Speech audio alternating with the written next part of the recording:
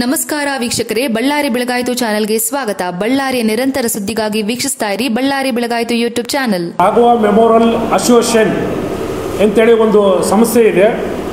ಅದರಲ್ಲಿ ಸರ್ಕಾರಿ ಜಾಗವನ್ನು ಒತ್ತುವರಿ ಮಾಡಿದ್ದಾರೆ. ಅದು ಸರ್ಕಾರಿ ದಾಖಲಾತಿಯೇ ಹೇಳ್ತಾ ಇದೆ. ನೂರ ಒಂಬತ್ತು ಅಡಿ ಜಾಗ.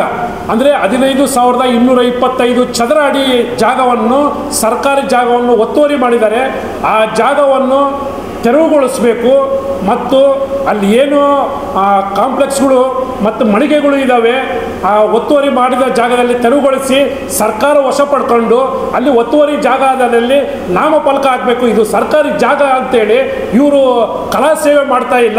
ಇದು ವಾಣಿಜ್ಯ ಮಳಿಗೆಗಳು ಕಟ್ಟಿಸಿ ವ್ಯಾಪಾರೀಕರಣ ಮಾಡ್ತಾ ಇದ್ದಾರೆ. ನಮ್ಮ ಉದ್ದೇಶ ಇಷ್ಟೇ ಸರ್ಕಾರಿ ಜಾಗವನ್ನು ಒತ್ತುವರಿ ಮಾಡಿದ್ದು ತೆರವುಗೊಳಿಸಬೇಕು. ಅಲ್ಲಿ ಪಾರ್ಕಿಂಗ್ ಜಾಗವನ್ನು ವ್ಯವಸ್ಥೆ ಮಾಡಿ ಆ, ಜಾಗಗಳಲ್ಲಿ ವಾಣಿಜ್ಯ ಮಳಿಗೆಗಳನ್ನು ತೆರವುಗೊಳಿಸಿ ಈ ಕಲಾವಿದರಿಗೆ ಮತ್ತು ಅಲ್ಲಿ ರಂಗಮಂದಿರಿಗೆ ಬರೋರಿಗೆ ಅನುಕೂಲ ಮಾಡಿಕೊಡ್ಬೇಕಂತೇಳಿ ಈ ಮೂಲಕ ಒತ್ತಾಯ ಮಾಡ್ತಿದ್ದೀವಿ ಅಂತೇಳಿ ಅವತ್ತು ಪತ್ರಿಕೆ ಮಾಧ್ಯಮಗಳಲ್ಲಿ ಪತ್ರಿಕೆ ಹೇಳಿಕೆ ನೀಡಿದಂಥವ್ರು ಅವರು. ಈ ಸ್ವಾಮಿ ಕೋಟೇಶ್ವರ ಅವರೇ ನೀವು ನ್ಯಾಯವಾದ ಹೌದಾ? ಈಗ ಅವತ್ತು ಸುಳ್ಳು ಆರೋಪ ಮಾಡಿದ್ರು ಅಂತೇಳಿ ನೌಕರರ ಶಕ್ತಿ ಅಂತೇಳಿ ಹೇಳಿದ್ರಿ ನೀವು. ಆದ್ರೆ ಇದು ಸುಳ್ಳು. ಇದು ಸರ್ಕಾರಿ ಆದೇಶ ಸುಳ್ಳ. ನೀವು ಮಾಡಿದಂತದ್ದು ಸುಳ್ಳು ಆರೋಪ.